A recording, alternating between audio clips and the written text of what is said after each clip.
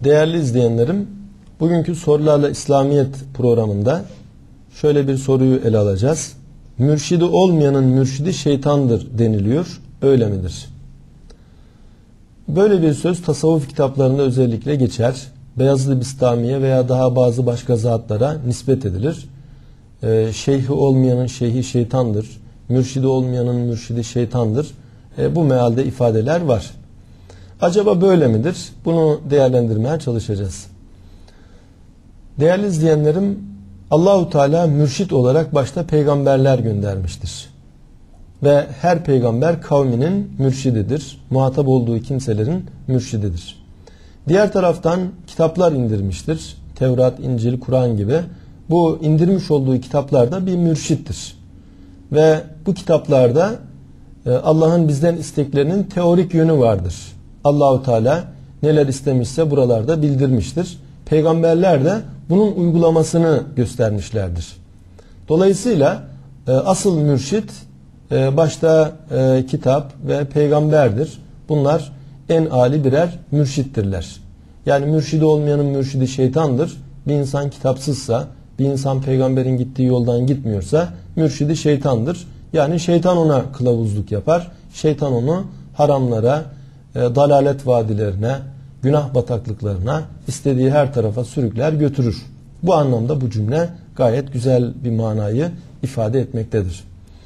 Ama diyelim buradan bazıları illa e, bir tarikata girmek lazım böyle bir mana çıkaracak olurlarsa bu cümle buna müsait değil. Şöyle ifade edeyim. Yani bir insan tarikatla İslam'ı yaşar.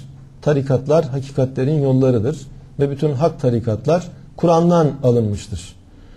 Ve e, tarikat yolunda gitmek Kur'an'ın gösterdiği bir yolda gitmektir. Ama İslam'ı yaşamak sadece belli bir tarikatla değildir.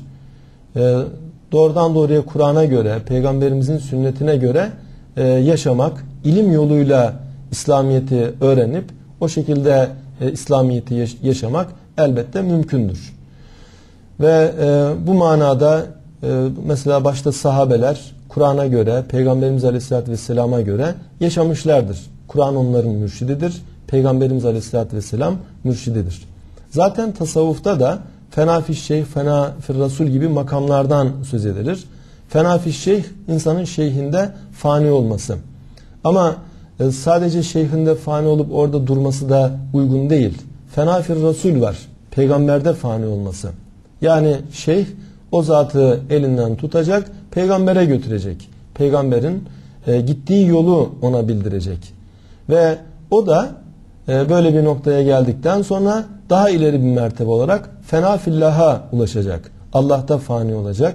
Allah'ın rızası dairesinde bir hayat yaşayacak.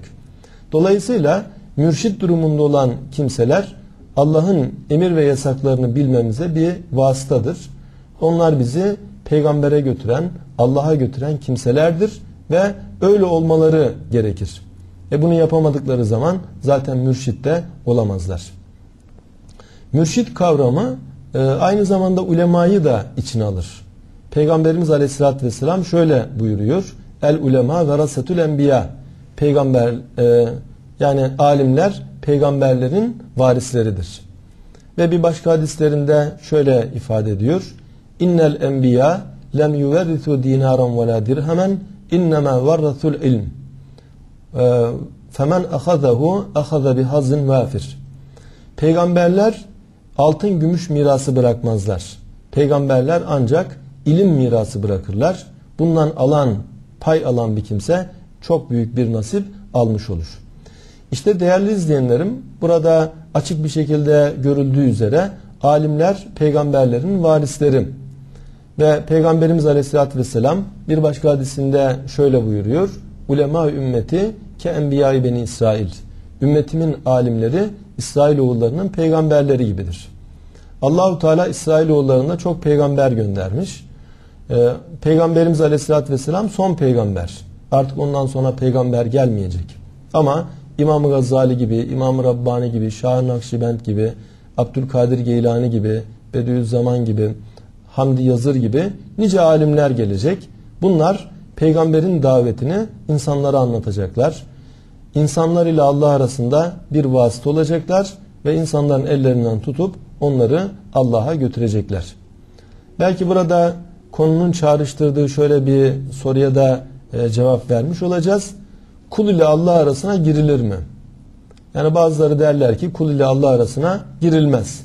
Bu bir noktada doğru bir ifadedir. Mesela namaz kıldığımızda herkes doğrudan namazını kılar ve doğrudan halini Allah'a arz eder ve bu noktada her insan tek tek Allah'a muhatap olur. Ama e, bunun anlamı peygamberlere lüzum yok, alimlere lüzum yok böyle bir şey değil. E, merhum Necip Fazıl'ın şöyle bir olayı anlatılıyor. Vapurda giderken bir tanesi demiş ki e, efendim demiş e, neden kul ile Allah arasına girmeye çalışıyorsunuz? Yani bırakın bu insanlar kendi akıllarıyla istedikleri yolu e, tercih etsinler. Necip Fazıl diyor ki sen diyor bak e, vapura bindin karşıya geçiyorsun. E, ni, niye vapura bindin? Madem hedef karşıya geçmekse kendin de oradan geçseydin. E, işte nasıl ki e, denizin bir yanından öbür yanına gitmek için vapur bir vasıtadır. Onun gibi peygamberler, alimler e, bizi günah ikliminden güzel iklimlere götürüyorlar. Kendi halimize kalsak günahlara gireceğiz. Ama onlar elimizden tutuyor. Bizi güzel yerlere götürüyorlar. Bu anlamda onlar bir vasıta oluyorlar. Yani daha güzele, daha iyiye ulaşmamıza bir vasıta oluyorlar. Ve konunun bir mütemmimi olarak şunu da ifade edebilirim. Nasıl ki e, futbolcuların antrenörleri oluyor veya spor alanında her alanda antrenörler oluyor. Okullarda öğretmenler oluyor. E, işte e, bir öğrencinin bir takım şeyleri öğrenmesi lazım ama öğretmen onun öğrenmesine vesiledir. Futbolcular daha iyi yetişmeler için antrenörün eğitimiyle daha iyiye ulaşmaya çalışıyorlar. Maneviyatta da bir insan yol alırken daha iyiye e, büyükleri vasıtasıyla ulaşabilir. Etrafında daha böyle seçkin olan kimseler vardır. Daha temayüz etmiş, ilmiyle amil, e, nurani simalı, sözü Rabbani olan gerçekten e, kamil mürşitler, kamil insanlar vardır. Bir insanın bunlardan istifade etmesi gerekir.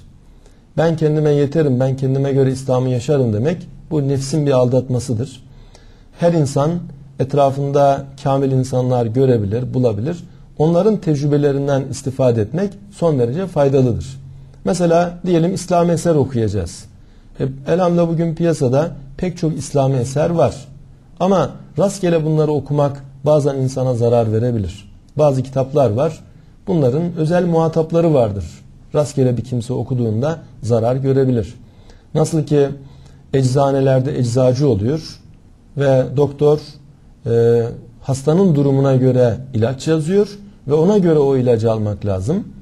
Her ne kadar aynı terkipte bir ilaç da olsa kuvvetli bir bünyeye verilecek ilaçla zayıf bir bünyeye verilecek ilaç elbette aynı değil.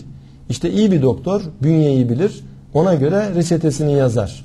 İyi bir mürşit de e, muhatabının durumunu bilir ve onu e, iyi tahlil eder. Onun durumuna göre reçeteleri ortaya koyar. Sen şu kitabı oku, bu kitabı okuma gibi bu tarz e, telkinlerde bulunur. Şöyle yap, böyle yap tarzında onu yönlendirir. Ve bunun neticesinde o insan nefsin desiselerinden daha uzak, şeytanın hilelerinden daha emin bir şekilde yoluna devam edebilir. Bu gibi kamil mürşitlerden, kamil insanlardan istifade etmek gerekir. Onların tecrübelerinden yararlanmak lazım. Cenab-ı Hak hepimizi şeytanın hilelerinden, nefsin e, desiselerinden muhafaza eylesin duasıyla bugünkü programı e, noktalıyoruz ve hepinize hayırlı günler diliyorum.